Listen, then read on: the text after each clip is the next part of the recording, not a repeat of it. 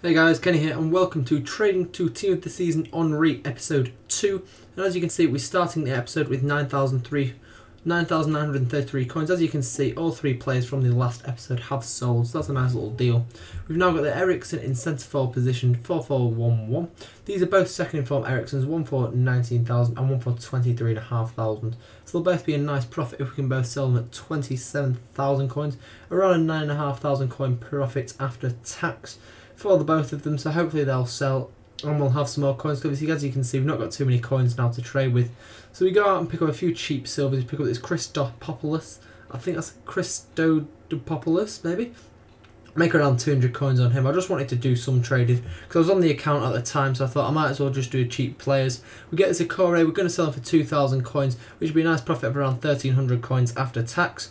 We also then pick up this Kabare, which we pick him up for, I do believe, yet 1,200 coins, and we're going to sell him for around 3,000 coins, 2,900, so it'll be about a 1,200 coin profit gain after tax. And then we get this Ross Turnbull in 4-3-3 formation, and that's going to be practically nothing profit, around 150 coins. But, oh well.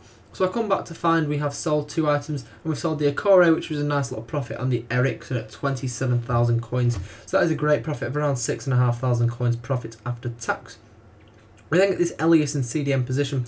Now I believe he's from this week's Team of the Week, so that is why that's why I've tried to pick him up because obviously we get him and he's in the CDM position, so there's not many of him out. So we, we try and we're going to try and train him to central midfield position and make a little profit. However, I do notice that this second Eriksen is sold in the 4-2-3-1 formation for 27,000. We then try and pick up this Gomez in central midfield position.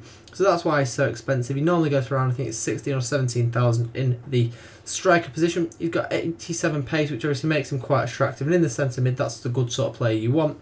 Now we go out and pick up a CDM to CM card for Elias. So hopefully we can make the profit on him and it'll give us a nice little return. I think if we sell him, it'll be around 6,000 coins. So that'll be two 6,000 coin deals, obviously, with the Eriksen and the Elias. So that's some nice profit for the episode. So hopefully we're going to sell him.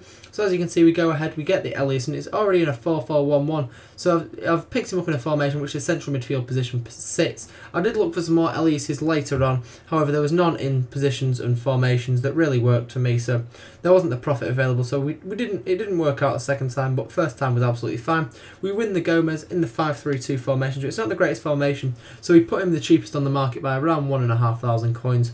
So that's about it for this episode. If you have enjoyed, be sure to leave a like, comment and subscribe. And of course, don't forget to follow on Twitter because I could do with a few more followers. So as always, guys, thank you very much for watching.